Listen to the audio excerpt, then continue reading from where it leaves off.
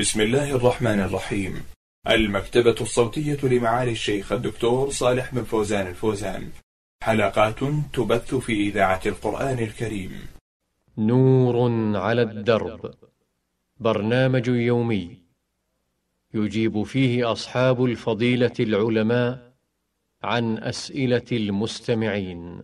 الحلقة الثمانون بعد المئة. بسم الله الرحمن الرحيم الحمد لله رب العالمين والصلاة والسلام على قائد الغر المحجلين نبينا محمد وعلى آله وصحبه أجمعين مرحبا بكم أيها الإخوة والأخوات في لقاء متجدد في برنامج نور على الدرب ضيف هذا اللقاء هو فضيلة الشيخ صالح بن فوزان الفوزان عضو هيئة كبار العلماء وعضو اللجنة الدائمة للإفتاء أهلا ومرحبا بالشيخ في هذا اللقاء حياكم الله وبارك فيكم هذا السائل يقول فضيلة الشيخ إذا شك المصلي بأنه لم يقرأ الفاتحة في الركعة الأولى ماذا يعمل؟ وهل قراءة الفاتحة واجبة في كل الركعات؟ بسم الله الرحمن الرحيم. الحمد لله رب العالمين صلى الله وسلم على نبينا محمد على آله وأصحابه أجمعين. قراءة الفاتحة في كل ركعة من الصلوات ركن من أركان الصلاة لا تصح إلا به في حق الإمام والمنفرد.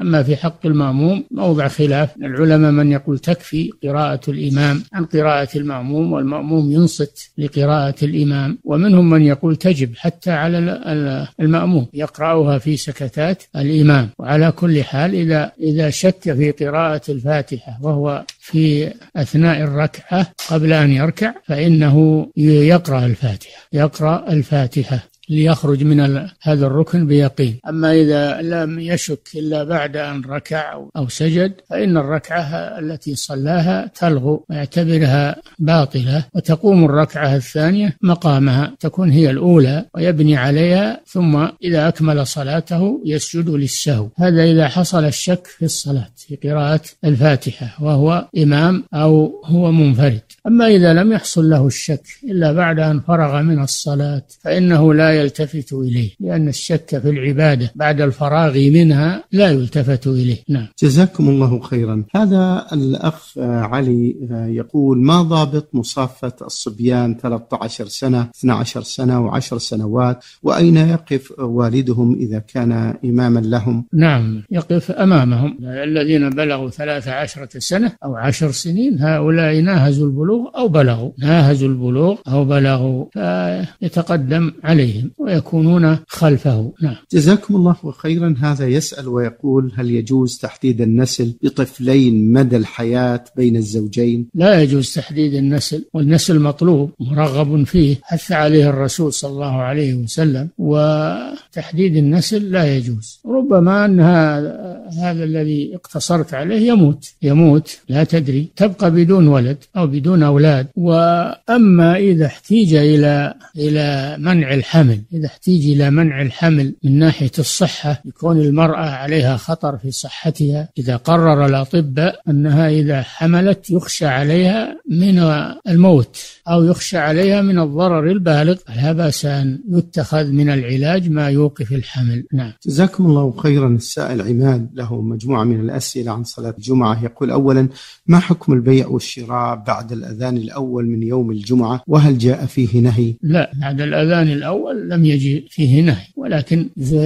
يتأكد في حق المسلم أنه يتوجه للصلاة. لا سيما إذا كانت المسافة بعيدة يتوجه إلى الصلاة. وحتى لو كانت المسافة قريبة فإنه مطلوب منه التبكير إلى الجمعة. مطلوب منه التبكير إلى الجمعة. لا ينشغل بالبيع والشراء يفوته الأجر أجر المبكر للجمعة يذهب إلى الجمعة والبيع والشراء له وقت آخر. أما البيع والشراء بعد الأذان الثاني الذي بعد دخول الإمام فإنه حرام والبيع باطل. قوله تعالى يا أيها الذين آمنوا إذا نودي للصلاة من يوم الجمعة فاسعوا إلى ذكر الله وذروا البيع. ذلكم خير لكم إن كنتم تعلمون. فإذا قضيت الصلاة فانتشروا في الأرض وابتغوا من فضل الله. واذكروا الله كثيرا لعلكم تفلحون. نعم. أحسن الله إليكم. له سؤال آخر يقول يوم الجمعة قبل دخول الإمام إلى المنبر مجموعة من الناس يتلون القرآن جماعة جهرا وأنا أبكر إلى المسجد فأنشغل بذكر الله والصلاة والذكر ولا أبالي فهل فعلي هذا صحيح؟ نعم إذا حضرت لصلاة الجمعة مبكرا صليت ما تيسر لك من النوافل جلست تذكر الله أو تقرأ القرآن كله جائز كله ذكر لله عز وجل. تتلو القرآن أو تشتغل بالتسبيح والتهليل والتكبير. وأما ما ذكره من أن جماعة يجتمعون ويقرؤون القرآن بصوت جماعي فهذا بدعة ولا يجوز. كل يقرأ لنفسه كل يقرأ لنفسه ولا يرتبط بالآخرين بصوت جماعي. إنما هذا يجوز للمعلم الذي يعلم القرآن. يجوز أن, أن أنه يلقي الآية على الطلاب فيقرؤونها جماعة من أجل أن يعلمهم إياه نعم. يسأل هذا السائل من الرياض عن ما يسمى بنزالة البيت الجديد وهو ذبح خراف أو بقر أو جمال. إذا كان يعتقد أن هذا عبادة وأنه فيه بركة للبيت طرد للشيطان هذا لا يجوز. يصل إلى حد الشرك. إذا ذبح لغير الله يتقي شر الجن والشياطين يكون هذا من الشرك والعياذ بالله. أما إذا ذبح هذا من باب العادة ومن باب الفرح والسرور بنزول البيت الجديد ويدعو إخوانه وأحبابه في هذه المناسبة. المناسبة هذا لا بأس به. نعم. يسأل السائل أبو عبد الرحمن ويقول ما حكم ضرب وشتم الزوجة؟ وهل تطلق الزوجة إذا قام الزوج بشتمها؟ الشتم لا يجوز واللعن لا يجوز لا للزوجة ولا لغيره. ليس المؤمن بالطعان ولا باللعان ولا بالفاحش والبذيء. نزه لسانه عن اللعن. ولا يلعن زوجته ولا يلعن ابنه لا يلعن دابته لا يلعن بيته ولا يلعن شيئا من المخلوقات. قال صلى الله الله عليه وسلم لعن المؤمن كقتله. لعن المؤمن يعني في الإثم كقتله والعياذ بالله. لا يجوز أن يلعن الإنسان لا سيما من يرتبط به كزوجته وأولاده لا يجوز له أن يلعنه. ولا يربيهم على اللعن يربيهم على الأخلاق الطيبة وعلى الكلام الطيب. أما الضرب فالضرب للناشز الضرب إنما هو للناشز فقط. قال تعالى واللاتي تخافون نشوزهن فعظوهن واهجروهن في المضاجع المضاجع واضربوهن. المرحلة الثالثة إن أمكن أن تنتهي عن النشوز في الموعظة فإنه يكفي هذا. خافون نشوزهن فعظوهن. فإذا لم يكفي الوعظ يهجرها يعني يتركها لا يكلمها أو لا ينام معها حتى ترتدع. هذا الهجر. فإذا لم يجد الهجر يضربها ضربا غير مبرح. أما ضرب الزوجة في غير النشوز هذا لا يجوز. نعم. يقول هذا السائل هل يجوز الاستماع إلى القرآن أثناء دراسة العلوم الدنيوية؟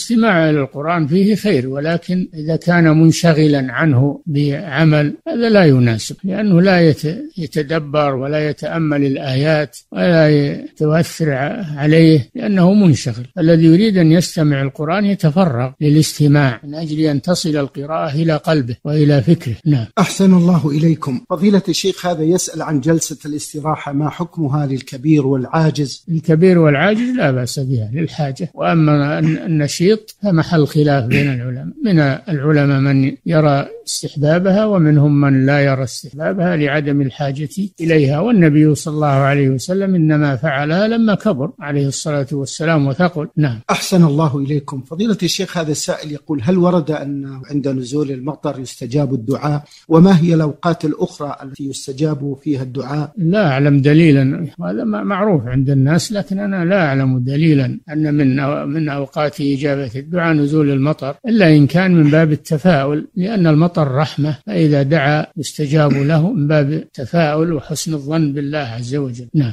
جزاكم الله خيرا. يقول هذا السائل ذهبت للعمرة وأنا من العراق آه ذهبت لأداء العمرة آه عن نفسي وبعد إتمامها أردت أن أعتمر عن والدي المتوفى فهل يشترط علي أن أذهب إلى ميقات أهل العراق فأحرم منه لأداء العمرة عن والدي؟ أم يصح الإحرام من مكة لأنني مقيم فيها لأيام فقط. الإحرام بالعمرة لا يكون من مكة وإنما يكون من الحل خارج الحرم من التنعيم من الجعرانة من عرفة من حدود الحرم الإحرام بالعمرة. فمن كان داخل مكة وهو يريد أن يعتمر لنفسه ولغيره إنه يخرج إلى الحل إلى حدود الحرم ويحرم من عندها. لأن عائشة رضي الله عنها لما أرادت أن تحرم بالعمرة وهي في مكة أمر النبي صلى الله عليه وسلم أخاها عبد الرحمن بن أبي بكر ذهب بها إلى التنعيم أحرمت منه لأن التنعيم على حدود الحرم. نعم.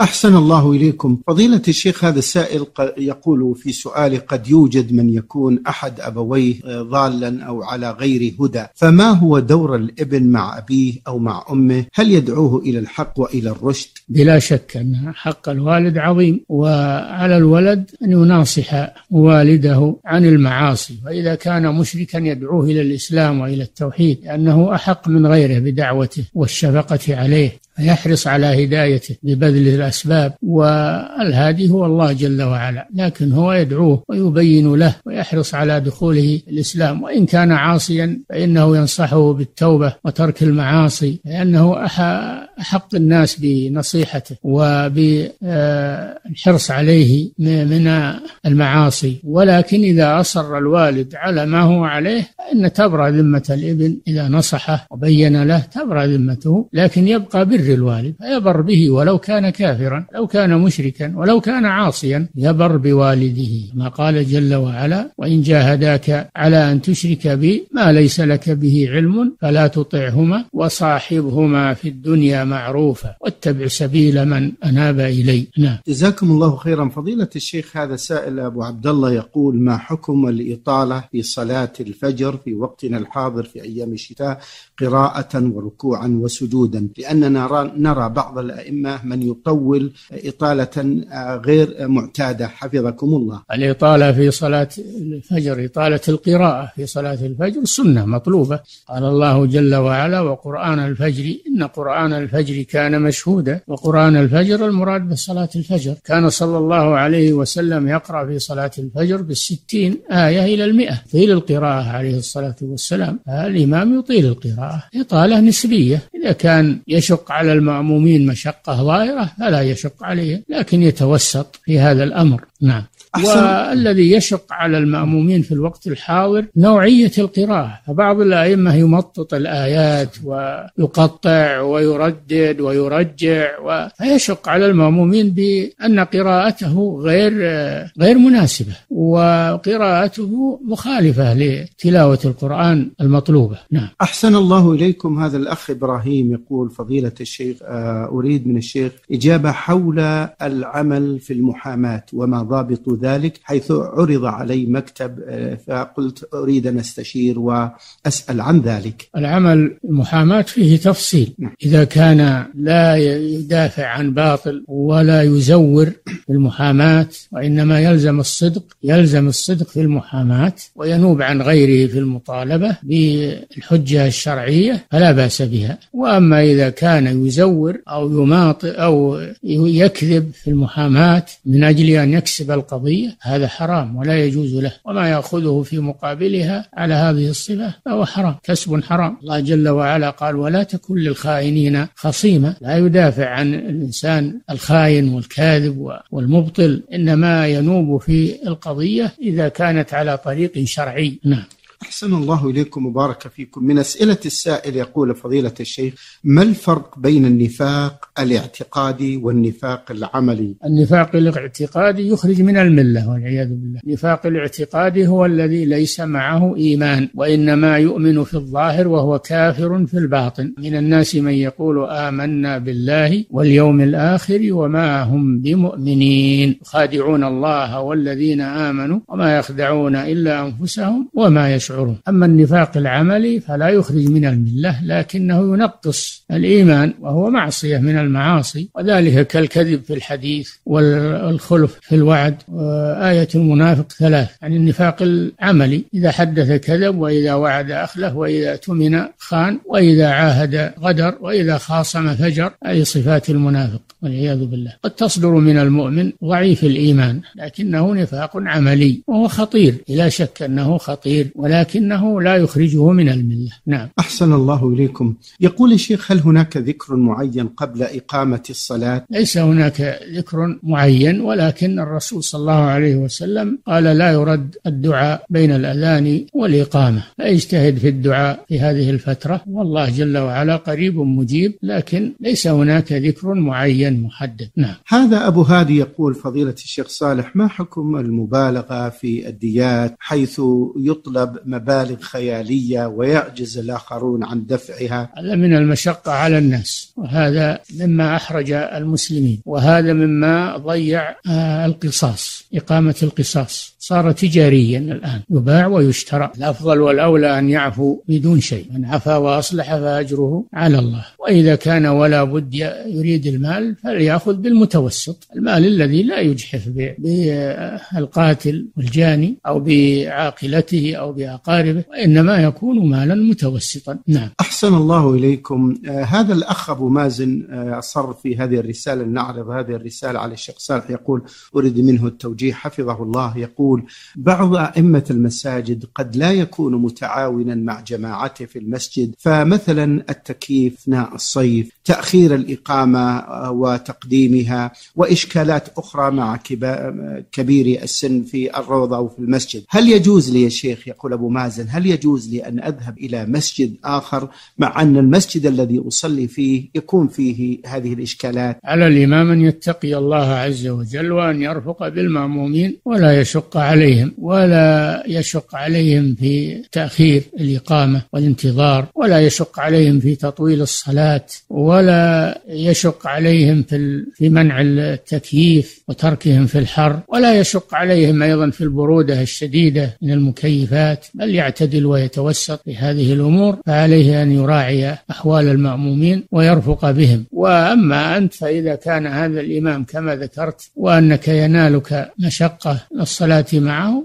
اذهب إلى مسجد آخر. نعم. أحسن الله إليكم. آه هذه السائلة آه تقول في رسالتها ما حكم عضل المرأة في شريعتنا الإسلامية؟ وهل للمرأة أن تذهب إلى القاضي ليزوجها من كفر؟ عضل المرأة هو منعها من الزواج بمن رضيت به بمن رضيت به من أه-، أهل الدين وأهل الاستقامة. العضل هو منعها من الزواج بكفء رضيت به بكفء في دينه في عقله في أمانته رضيت به. هذا هو العضل. إذا منعها منه فقد عضله. قال صلى الله عليه وسلم إذا خطب إليكم من ترضون دينه وأمانته فزوجوه. إلا تفعلوا تكن فتنة في الأرض وفساد كبير. فإذا كان يمنعها من الزواج بكفء رضيت به فإنه عاضل وتسقط ولايته عليها. تراجع القاضي لأجل أن ينقل الولاية منه إلى ولي آخر من أقاربه لإزالة الضرر عنها. قد يكون بعض الأولياء